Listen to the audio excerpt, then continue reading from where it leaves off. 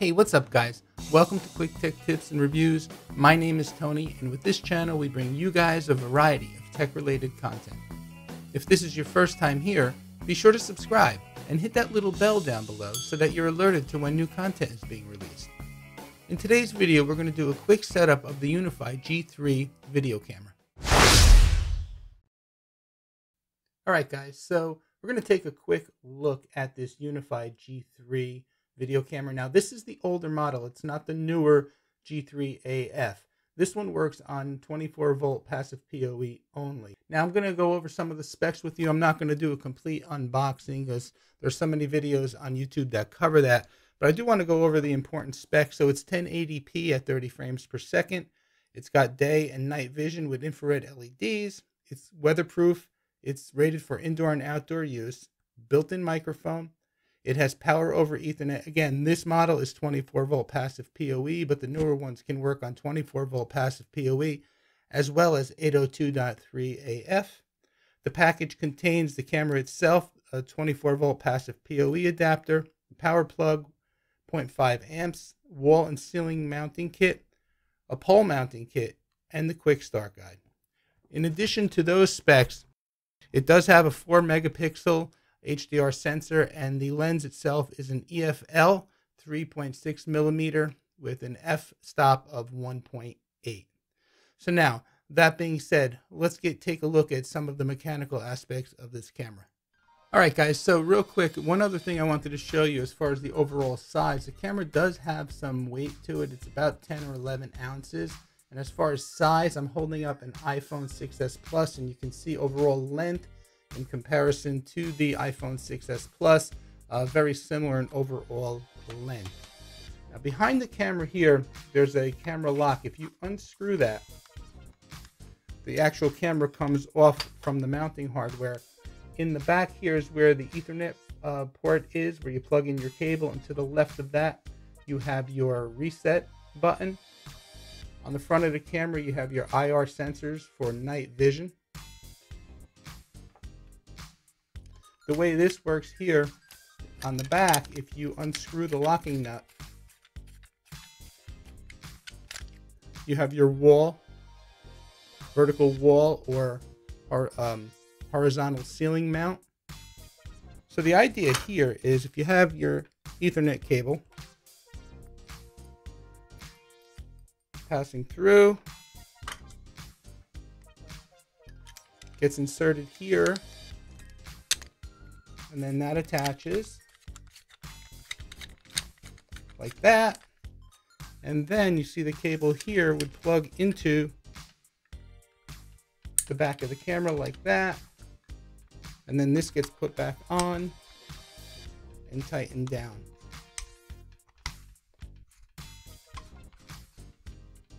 Now, the camera is pretty versatile.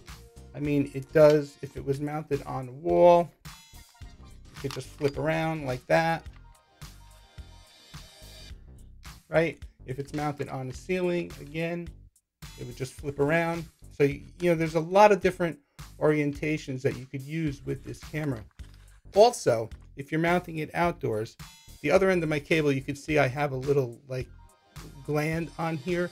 It came with the uh, camera. It was in a box. If you're mounting outdoors, it's recommended that you put this little gland on your cable and instead of for indoor mounting like this, you would put the gland on the cable and pass it through. And that gland, let me just show you.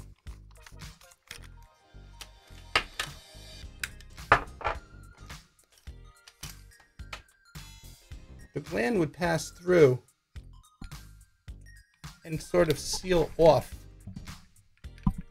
inside there, helping to um, make the waterproofing more effective for an outdoor use. So that being said, that's pretty much how the mechanical aspect of the camera works. Let's get it plugged in and see if we can get it set up. All right, guys, so I checked my Unifi controller. I went to the devices tab just to get the IP address of the camera so that I can point the browser to the login page. So all I did was open up my Chrome browser and typed in the address of 192.168.25.151 and it brought me to the camera's login page. Of course, in your own environment, the IP address will be whatever your network uh, IP scheme is. So that being said, let's log in using the default username and password. And in this case, it's UBNT, UBNT, because this is the first time I'm doing this out of the box. And that being said, guys, this camera is an older camera. I've had it about a year. I've done nothing with it. I had good intentions to do some videos on it, but then I got wrapped up in other things and the camera just sat on the shelf. So I decided to finally break it out and do it. So that's why I'm doing it on the older camera. If you're wondering why, it's I'm doing it on that version and not the newer um, G3 AF, etc. So that's why I figured I have it. Let's let's at least get a video out on it. So let's log in with the default credentials. And again, if you're doing this in a production environment or even in your home, just change the credentials to something um, obviously stronger than the default. So let's click login. And it's a rainy day here. Um, it's been raining actually for a couple of days. I just have the camera uh, wedged right now between some shutters and I'll bring up a picture to show you how I have it temporarily set up.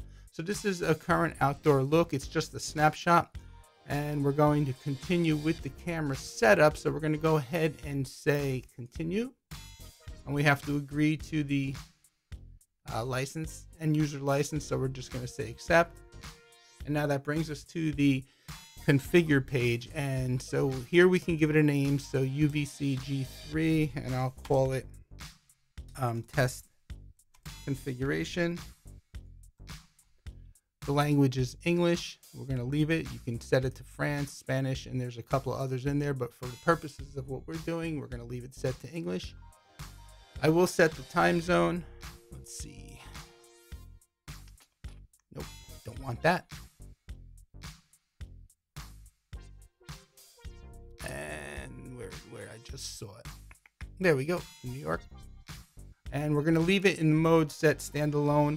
I don't have an NVR right now set up on the network, so we're just gonna set it up in standalone mode and go ahead and say continue.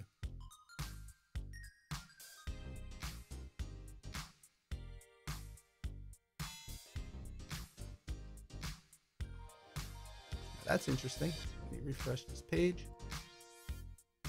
There we go. Okay, so now we're looking at the live view. There goes a car by, and it looks here like we can go to full screen. Yes. Not bad quality considering it's very dreary and very cloudy out. Let's bring it back down to regular view and see what some of the other options we have down here. Okay, so there's the name of the microphone that I set, um, name of the camera that I set up in the previous step. The mode is set to stand alone.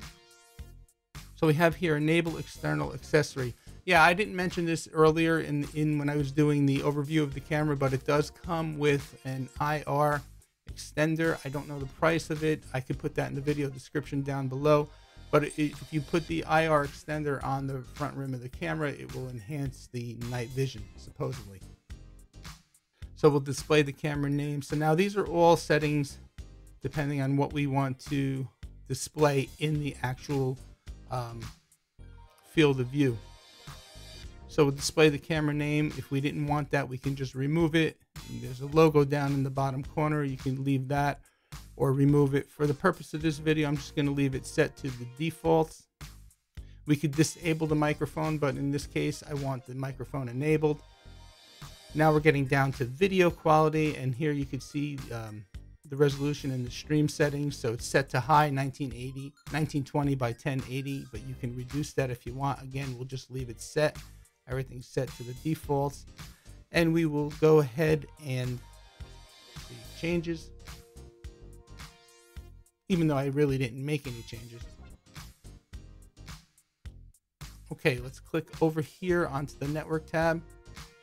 And here we could just set either a static IP for the camera or leave it at DHCP. Again, for now, I'm just going to leave it set DHCP. Let's click over to the system tab and see what we have here. Okay, so here's where you can um, change the username and password. Again, for the purpose of this video, I'm just going to leave everything as is, but here's where you can customize the username and password for the camera. Again, you can change the language. Here's where we have the time zone and the server. And then here we can upload a firmware version. Um, if we want, we can do a firmware upload if we wanted to. So the current version is 3.4.0.59, blah, blah, blah, blah, blah. And I'm pretty sure that's going to be out of date because like I said, this camera is about a year old. So I'm going to go out to UBN, UBNT's website and let's check and see what version we have out there. Let's go to downloads. Go to Unifi Video. Let's go to Unifi G3.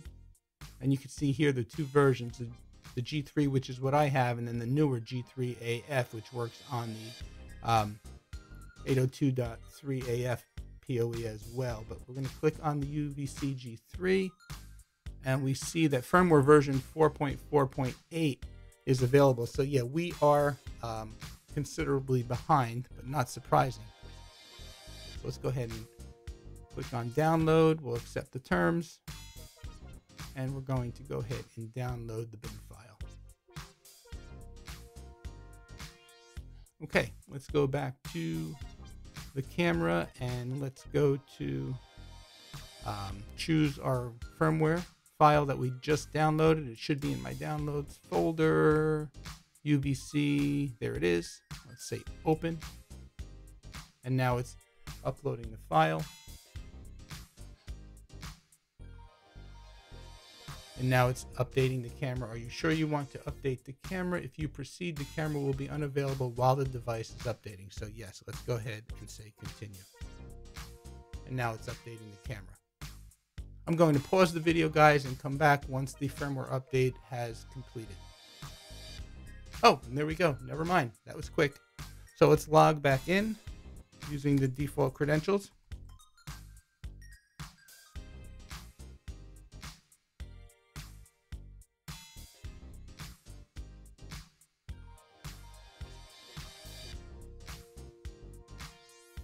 Actually, the login page came back right away, but I just heard the camera reboot. So again, I'm going to pause the video and we'll come back once the camera has rebooted.